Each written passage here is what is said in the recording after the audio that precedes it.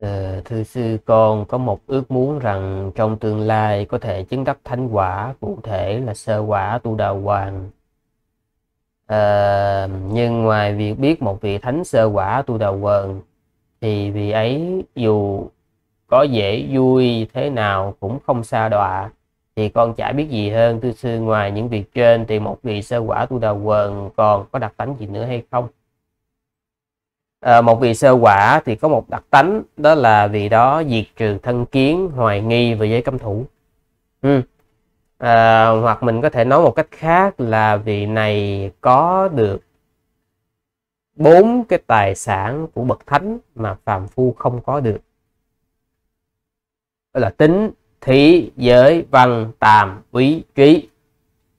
Tính tức là niềm tin thì vị thánh sơ quả tu đầu quờ cái niềm tin vị đó nó có những đặc điểm như sau. Thứ nhất là dù cho vị đó có tái sanh thì vị đó cũng không thay đổi niềm tin đối với tam bảo.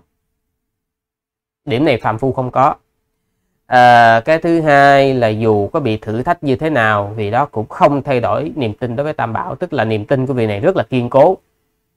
Điều này phạm phu không có điều thứ ba là khi mà vị đó nghĩ đến ân đức của tam bảo dù chỉ là một câu nắp mô tá xá thôi thì cái niềm hoan hỷ do cái niềm tin về cái sự suy à, do cái sự suy tưởng đem lại đó cũng đủ cho vị đó vui hoan hỷ mà không cần phải ăn uống gì cả. Như trường hợp à, vua um, Bimbisara đó à, bị à, A, Xà Thế vua A Xà Thế à, nhốt trong lao mà không có cho ăn uống gì hết. Thì chỉ cần vua Bimbisara suy tưởng ân đức của Phật thôi khi đó vị này vẫn hồng hào như thường không cần ăn uống. Đấy. Thì điểm này phàm phu cũng không có. Đó là về đức tin. À, rồi thứ hai là thí xã tức là vị này luôn sẵn sàng để mà bỏ đi.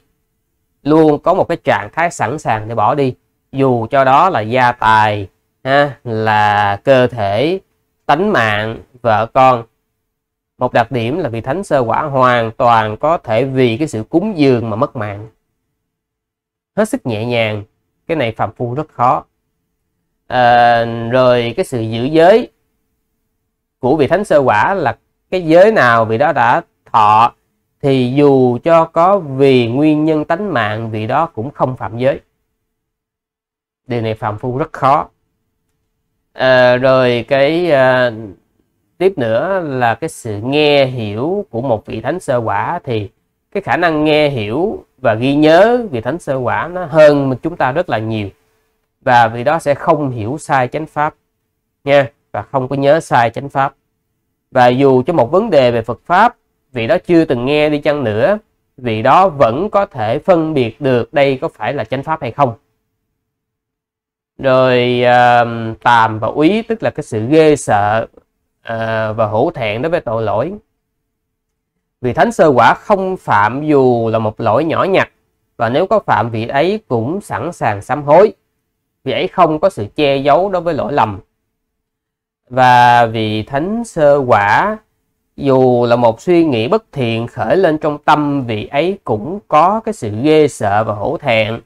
Cho nên dù cho vị đó có tham hoặc có sân như thế nào đi chăng nữa thì nó cũng không thể nào xuất hiện nơi thân và khẩu để tạo ra ác nghiệp đưa vị đó xa đọa.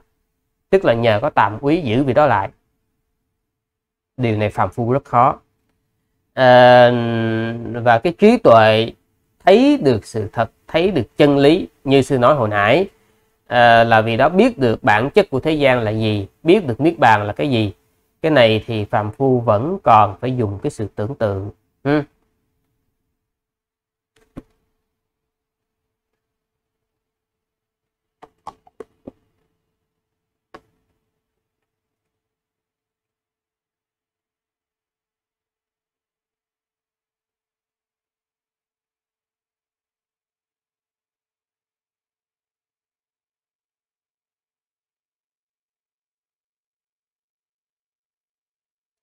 Uh, có một vị đưa số điện thoại để ờ, ờ, có cái gì không hiểu thì hỏi. Sư nhắc quý vị như thế này thứ nhất á, là cái ờ, zalo uh, sư hầu như không sử dụng. Sử dụng cái từ hầu như không sử dụng nha. Bởi vì những cái vị mà liên hệ zalo với sư á, là đủ biết một chuyện. Đó là gửi tin nhắn hoặc là gọi điện cho sư á, mà cả tháng sau sư mới đọc đó là chuyện bình thường nha. Cho nên có biết zalo của sư thì nó cũng vô ích thôi tại sư hầu như sư không có xài. À, rồi một cái vấn đề nữa à, đó là nếu như quý vị muốn nhắn tin cho sư thì có thể nhắn qua trên cái facebook. Ừ. à, rồi à, nếu như mà quý vị muốn đặt câu hỏi thì vui lòng à, đặt câu hỏi vào trong cái à, liên kết trong cái phần à, mô tả video sư có đưa liên kết trả lời câu hỏi và sư không có thời gian trả lời từng trường hợp nhỏ lẻ. Quý vị hiểu không? Thí dụ như à, khi mà sư soạn à, soạn ra một mớ câu hỏi quý vị đó sư tập trung là một lần sư trả lời một lần. Cái câu hỏi nào sư có sự tìm kiếm cần thiết tìm kiếm thông tin thì sư tìm sư trả lời luôn một lần cho quý vị. Nó nó gọn còn thí dụ như sư đang dịch một cái đoạn kinh tinh một cái hỏi sư ơi cái này cái kia. Là tự nhiên cái cái cái suy nghĩ sư đang nó bị nó bị gián đoạn. Nó rất là phiền. Hoặc là khi mà sư đang suy nghĩ về pháp đang trôi theo cái dòng suy nghĩ như vậy tinh cái hỏi sư ơi cái này cái kia. Nó rất là phiền. À, thành ra đó à, thành ra có những khi và có nhiều khi sư không sẵn sàng để sư trả lời câu hỏi quý vị biết không? À, thành ra là cứ gửi câu hỏi vào ở trong cái danh sách vấn đáp thì sư sẽ tranh thủ sư trả lời. Nếu như mà một tuần hai buổi sư trả lời chưa có không kịp thì sư sẽ tăng lên 3 buổi hoặc thậm chí là 4 buổi tức là sư sẽ dành thời gian để sư trả lời cho quý vị cho tới bây giờ chưa có câu hỏi nào mà sư xóa thẳng sư bỏ qua mà sư không thèm trả lời ha à, thành ra quý vị thông cảm dùm ừ. tại vì ngoài những cái thời gian này ra thời gian còn lại sư không sẵn sàng để sư dành thời gian cho quý vị để trả lời những câu hỏi ừ.